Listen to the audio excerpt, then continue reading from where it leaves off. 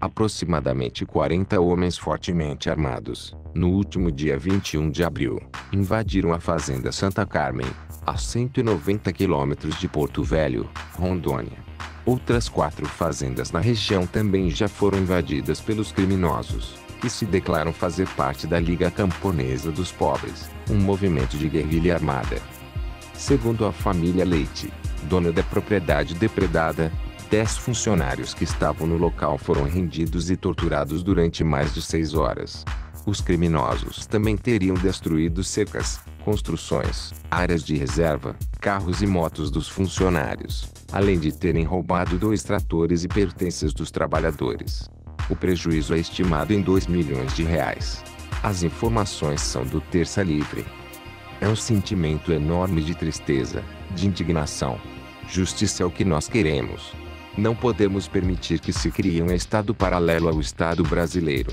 O direito à propriedade é sagrado, e diversos crimes têm sido cometidos.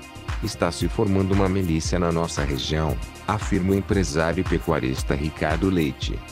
As ações da Liga Camponesa dos Pobres teriam começado ainda em julho do ano passado, quando invadiram as fazendas no Brasil e Guleiba Arco-Íris, vizinhas a Santa Carmen. Conforme os depoimentos das vítimas, nos primeiros ataques do movimento de guerrilha armada, oito homens encapuzados chegaram no local em motocicletas, efetuando disparos de arma de fogo e mandando que todos deitassem no chão. Os criminosos, além de agredir um dos funcionários com coronhadas na cabeça, também roubaram os celulares das vítimas e outros pertences. Eles destruíram uma casa de apoio, deram mais de 200 tiros e atacaram os funcionários. Uma semana em que saiu a reintegração, eles voltaram. Tem mais de 600 pessoas na nossa área de reserva legal, e eles estão derrubando tudo.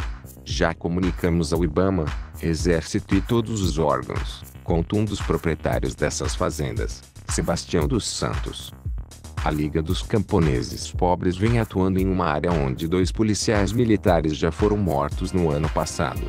Segundo Sebastião dos Santos, há suspeitas de que membros do movimento tenham sido responsáveis pelos assassinatos.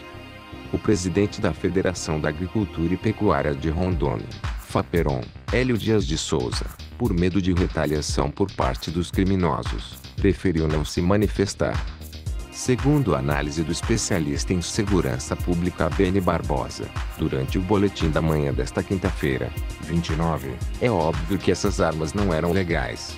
As armas que abastecem tanto os criminosos comuns quanto os terroristas, porque isso é um grupo terrorista, não tenho a menor sombra de dúvida disso.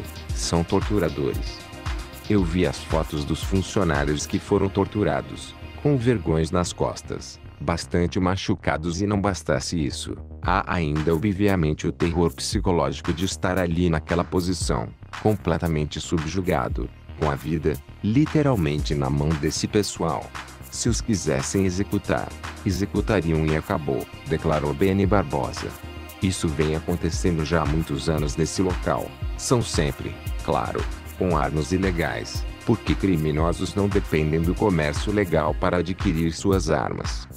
Segundo o especialista, o Brasil está perdendo uma importante janela de oportunidade para o armamento da população de bem.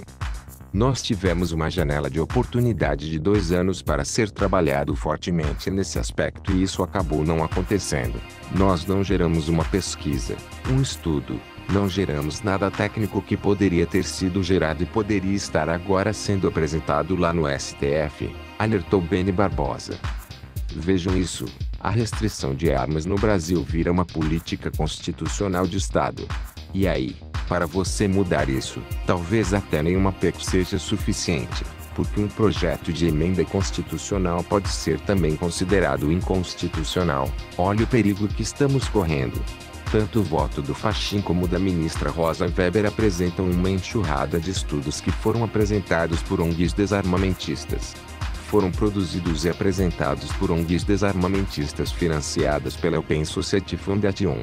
E isso não é invencionice. Basta entrar no site deles e você verá ali Open Society Foundations. Para quem ainda não sabe, a Open Society é do George Soros, e esse pessoal é do Instituto Igarapé, do Sou da Paz etc.